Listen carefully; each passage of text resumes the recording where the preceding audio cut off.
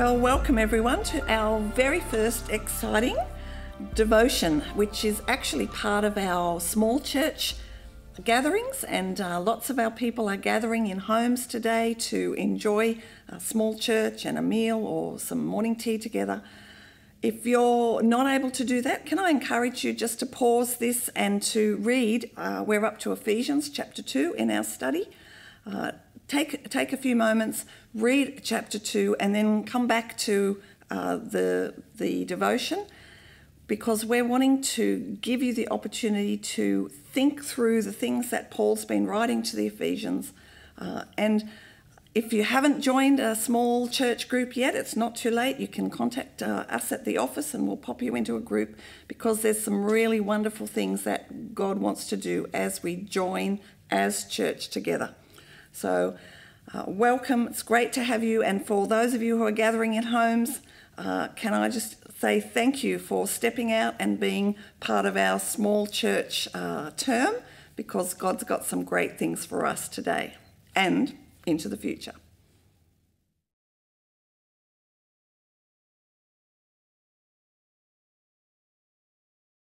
Well, hello, church.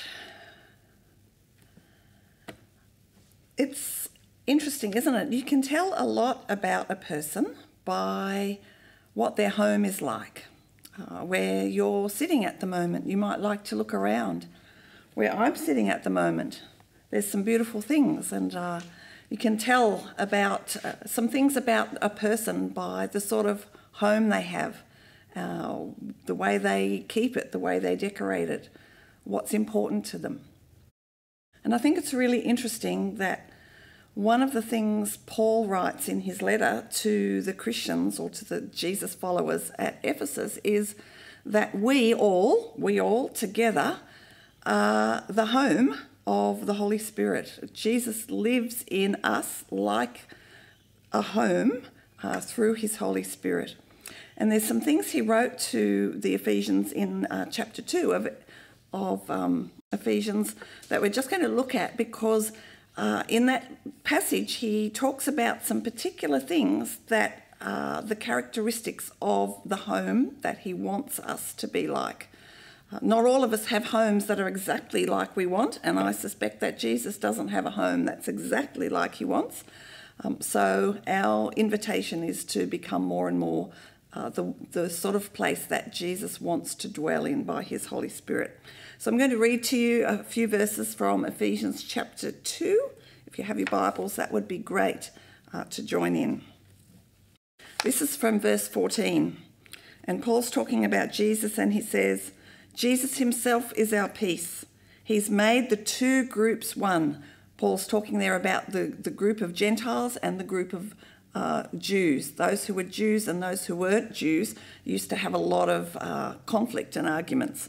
But Jesus came and he made the two groups one. He's destroyed the barrier, the dividing wall of hostility, by setting aside in his flesh the law with its commands and regulations.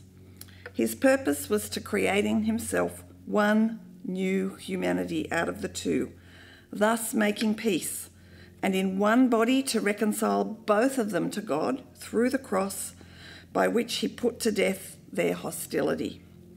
So these weren't two friendly groups, they were two hostile groups. Jesus came and preached peace to you who were far away, the non Jews, and peace to you who were near. For through him we both have access to the Father by one Spirit. Consequently, you're no longer foreigners and strangers but fellow citizens with God's people and also members of his household, built on the foundation of the apostles and prophets, with Christ himself as the chief cornerstone. In him, the whole building is joined together and rises to become a holy temple in the Lord. And in him, you too are being built together to become a dwelling or a home in which God lives by his Spirit. So as I read that passage, I, I hear some incredible things that Jesus has done. He's removed this barrier that was between uh, the, the Jewish people and the non Jews, and he's brought them together in this description of one new humanity. And as we look at that, there's um, there's four little pieces of this home that uh, Paul draws attention to, and I thought it might be good for us to, to quickly have a look at. I wonder if you can see the four building uh, things that go into this home. Take a moment and have a look and see if you can see, uh, just like a, a home, uh, if you're getting one built or if something's being built in your street, uh, it's got some parts of it, and there's some parts that uh, Jesus is building in his home as well. So take a moment and have a look and see if you can see them. The first thing you might notice is that there is a cornerstone. And Paul says that this cornerstone is Jesus. One of the things that's true about Jesus' followers is that we don't make up um, how we want to follow Jesus. Jesus has laid down a way. He says that He's the way, the truth, and the life. And He invites us to follow him. You know, there's lots of people who would like to be followers of Jesus, except they don't want to have to do what Jesus says. But actually, that's not a follower of Jesus. And the truth is that Jesus, uh, lining our lives up with his truth and his word, is actually what causes us uh, to be part of his church. So, the first invitation and the first question to ask ourselves is have I allowed my life to be lined up with the truth of Jesus, with who he is, with his word, uh, with how he's invited me to live? Because that's the first thing that needs to be in place. uh, when a builder is building uh, a, a, building, the cornerstone is like the piece where they put the string along the, it's like the plumb line and the string goes out from both sides of that cornerstone and keeps the building straight and unless our lives are lined up with the truth of Jesus, we end up building lives that are not going to be uh, straight or aligned with His truth. So that's the first thing that we notice in the building that God's building for His house. It's lined up with Jesus and with His truth.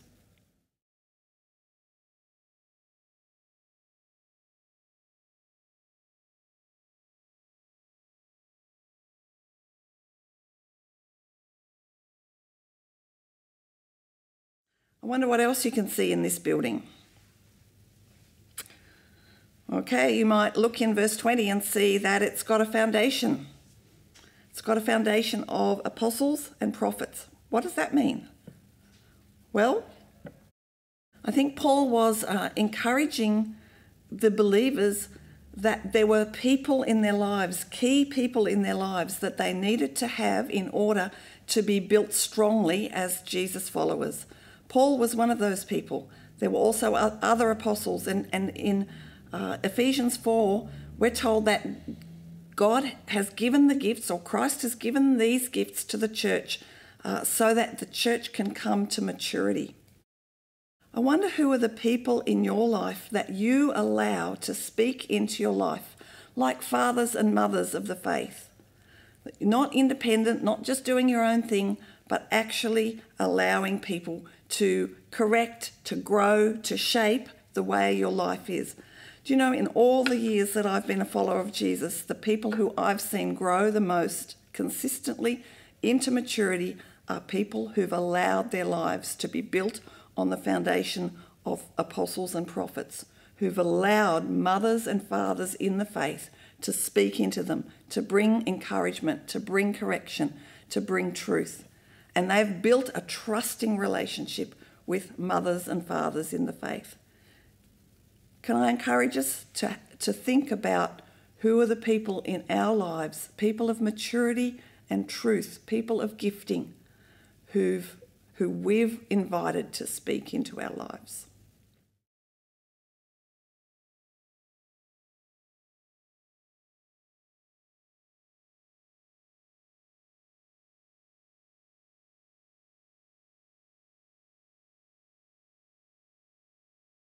Okay, third thing you might notice is that um, this building is being joined together.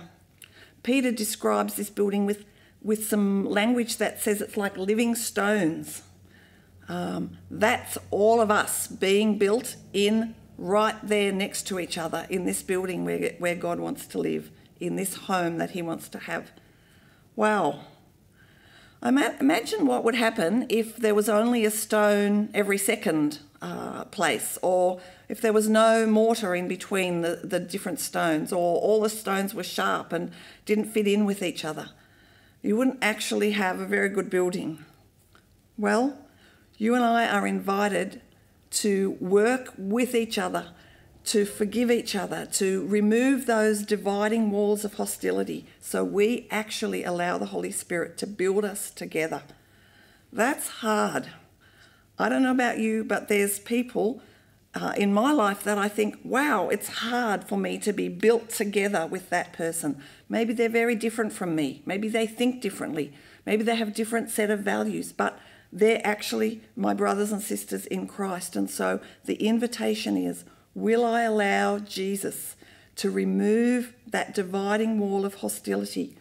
For the Jews and the Gentiles, it was the law. And Jesus came and fulfilled the law and took the law out of the way because the law was always going to be that stumbling block that caused them to clash with each other. But for us, it's probably not the law, it might be differences, it might be a different understanding, it might be a different culture, might be uh, old and young, it might be male and female. But God's inviting us to let the fact that we're all in Christ be the thing that cements us together, the living stones being built together.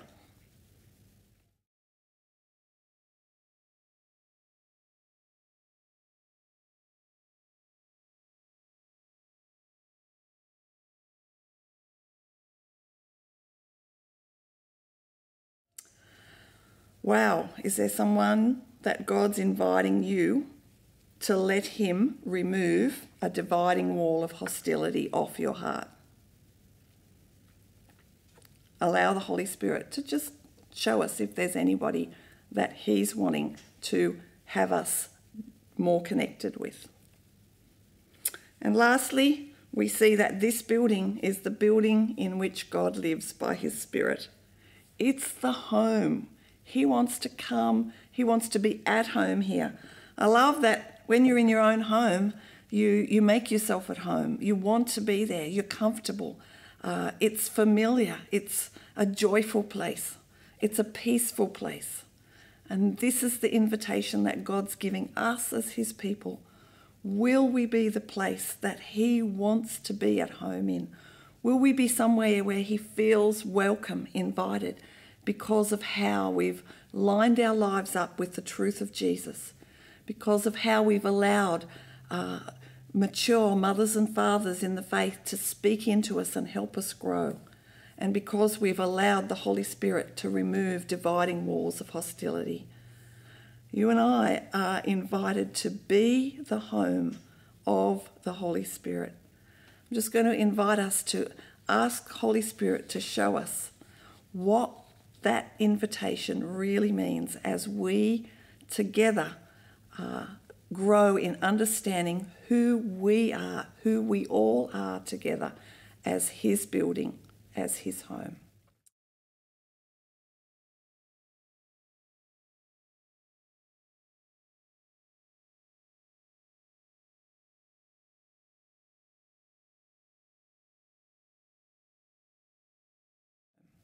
Let's pray. What an incredible thing, Jesus, that you want to come and live in us. You live in us as your temple, uh, as individuals, but even more so, you want to come and make your home in the beautiful place that we build for you when we love each other, when we work on unity when we put aside our differences and when we line our lives up with the truth of Jesus. So we're inviting you to remove hostility, independence, judgment, offense, all the things that divide us from each other.